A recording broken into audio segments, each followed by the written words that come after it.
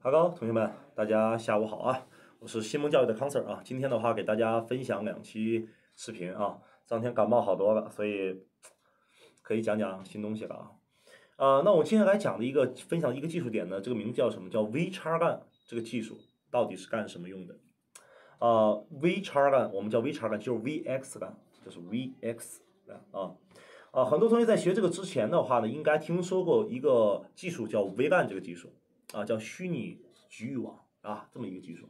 那 V 叉干和 V 干这有没有关系呢？请大家注意一下，没有什么太多直接的联系。因为我在之前的视频里面说过，我说 V 干呢是一个企业网里面用特别多的技术啊，就很多在公司里面我们会用这个 V 干这个技术呢，在我们公司的大的这个局域网里边呢去做区域隔离。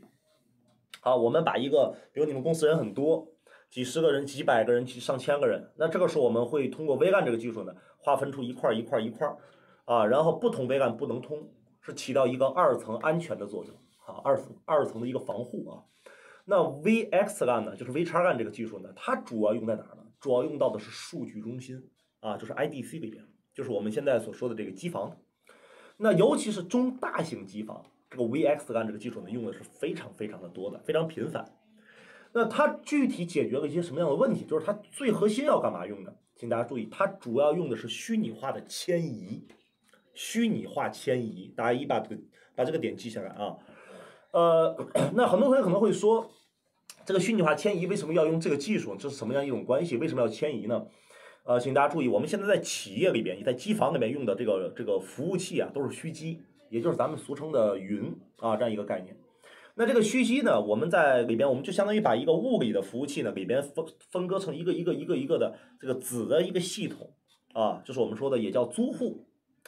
那么问题在于呢，当你的业务发生了一些变化，比如说业务进行扩展呀，呃，访问量变大了或者缩小了啊这种情况下呢，我们就需要去加配里边的硬件资源的分配，比如说增加内存的，增加 CPU 的核数啊，啊，划分硬盘空间啊，诸如此类的啊。那但是问题是，如果打个比方，你现在的物理的这个的整台服务器呢，如果说硬件资源已经不够了啊，硬件资源已经不够分的了。那这个时候怎么办呢？好，那我们就要把里边这个租户呢，里边这个服务器呢，呃，给它迁走。但是迁走的时候，比如说你从张家口机房迁到北京机房，或者迁到这个贵州机房，你迁走的过程中，你还要保证这个业务不中断，懂这个意思吗？就是你要把这个原来的业务这开着呢，你这个别人还正好访问你的服务器呢，你要把它迁走，你还要保证这个业务不中断。你想想看，对吧？这肯定不是拿 U 盘直接拷拷拷配走那么简单，是不是？所以这个过程中要。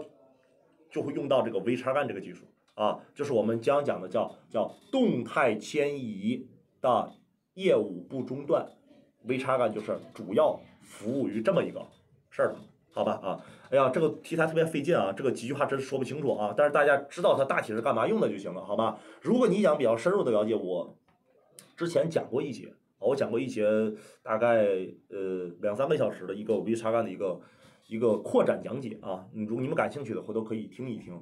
嗯，这样吧，我把这个链接的话留在我的视频下方，好吧？视频下方啊，或者说是我不知道能不能留视频下方啊。然后呢，或者说是那个发给我的小助理，你们看一下吧，好吧？我不是特别确定啊，一会儿你们可以看我的视频下方，或如果没有的话，就联系我的小助理，好吧？然后大家感兴趣可以自己看一看啊。